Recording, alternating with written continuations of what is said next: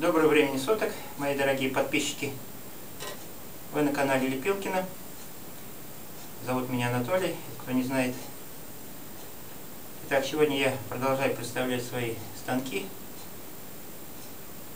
Это станок для производства изготовления витых балящин стандартного размера 900 миллиметров. В общем-то, это второй станок. Первый достаточно простой. Делал я очень давно его, всего опыта не было. Ну а здесь я попробовал, попытался расширить возможности, добавил дополнительные операции. Все это я покажу. Итак, в качестве тяги я здесь использовал тросик. В отличие от первого станка, где стоит цепь, трос более удобный, он работает в разных плоскостях. Вот, расширяет возможность станка, где-то его упрощает. Вот, ну и есть и недостаток его, то, что он может проворачиваться на барабане, и шаг может сдвигаться, то есть рисунок будет испорчен. На это нужно уделять этому внимание. Теперь принцип работы. Каретка, на которой сидит фрезер, движется по направляющим трубам. Также она цепляется к тросу. При перемещении каретки трос тоже двигается и вращает барабан. Вот этот барабан. Диаметр его определяет шаг. Ну а барабан да, передает движение шпинделю, трезубцу. Здесь стоит делительная планшайба, которая позволяет поворачивать нашу заготовку на определенный угол. Важный узел натяжения троса производится флажком. Здесь он на петлях флажок, на обычных. И шпилька резьбовая оттягивает его. Ну и на флажке прикреплен шкивок. И буквально легким движением руки очень легко натягивается трос или отпускается.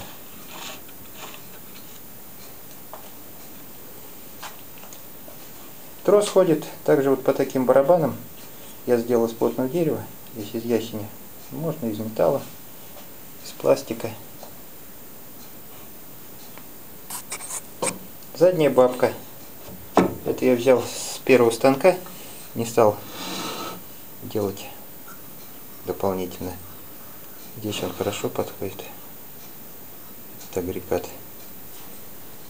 Станок этот может выполнять 4 основные операции, плюс некоторую токарную обработку фрезой, предварительную, для дальнейшего фрезерования канилюра, если в этом есть необходимость, если нет, допустим, токарного станка.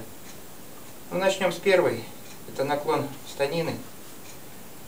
Отпускаем гайку. Выставляем под нужным углом. Зажимаем, что позволяет нам фрезеровать заготовку под углом, а не строго горизонтально. Возврат в исходное горизонтальное состояние производится вот такой вот приспособой которая ставится на станину. Поднимаем до упора и зажимаем. Вот и все. Станина у нас теперь строго горизонтальная.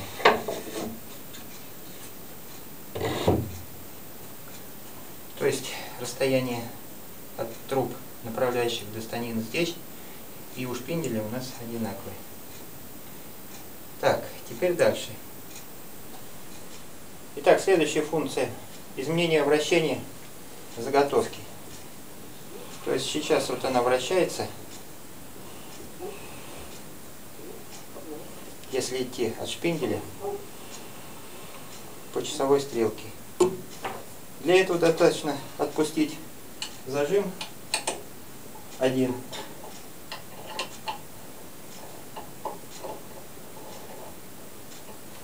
и прижать тросик вторым зажимом точно таким же. Кстати, зажимы на пружинах. Они отходят, не мешают движению свободным тросика.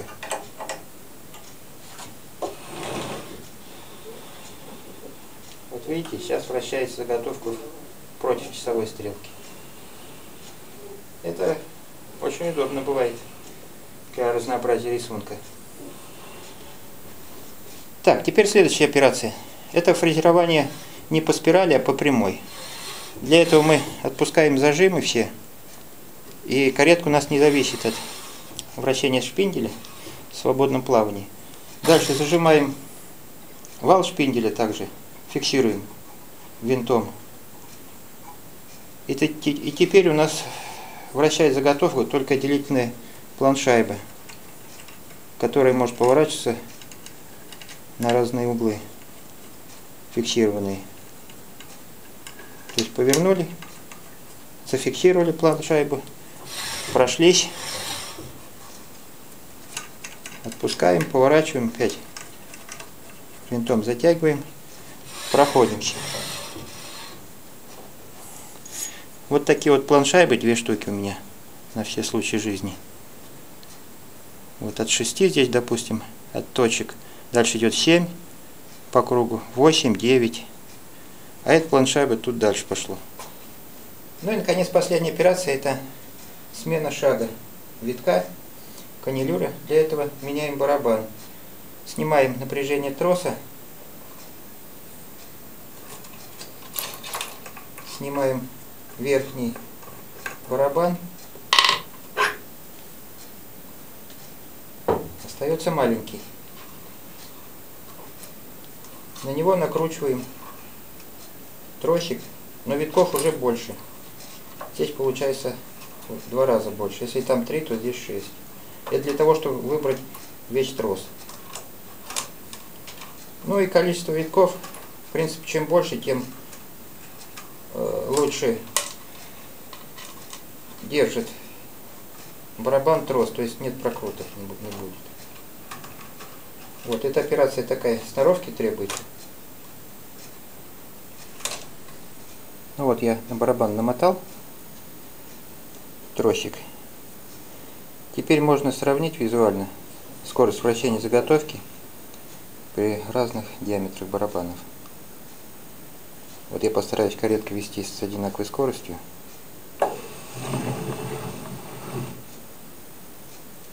Вот, а теперь на более крупном барабане как будет выглядеть. И на другом барабане большего диаметра. Видно, что вращение более медленные заготовки. Но это понятно, шаг здесь больше, примерно раза в два. На случай проскальзывания тросика по барабану я сделал еще такой вариант крепежа тросика. Это, э, значит, просверлил отверстие по центру. И с этой стороны винт у меня, который зажимает два конца тросика. Вот на примере проволоки я показываю. И потом также на, наматываю. Делаю витки. В этом случае прокрута не будет вообще. Но здесь другой минус. Очень тяжело намотать трос путается, сопротивляется. Вот, поэтому я его, вариант так держу в запасе, но им не пользуюсь. Пока обхожусь. Вроде нормально все. И без него.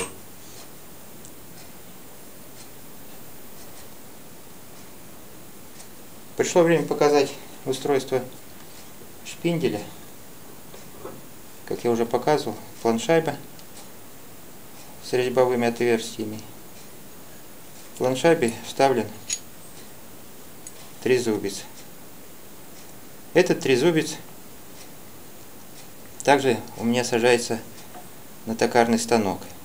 Зажимается хорошо в токарном патроне, обрабатываю деталь, потом переношу этот трезубец с деталью на этот станок, и все хорошо совпадает.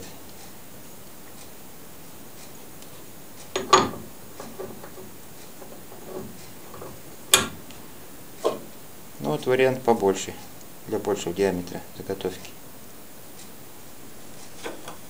Ну теперь по материалам, которые здесь использовал.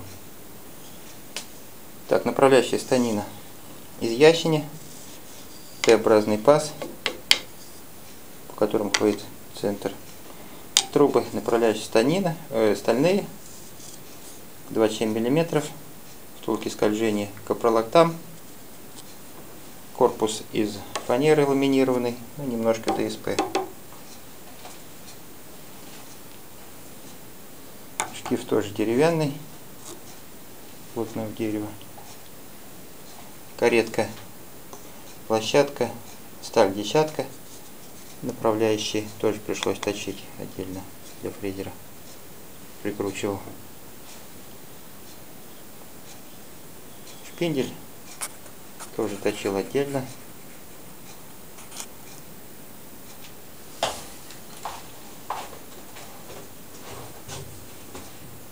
На этом обзор станка закончен.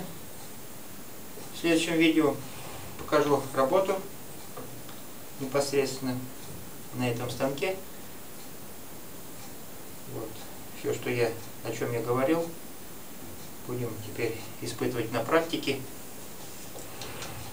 А пока оставляйте комментарии, подписывайтесь, задавайте вопросы, постараюсь ответить. Следите за моим каналом. Всем удачи и до встречи.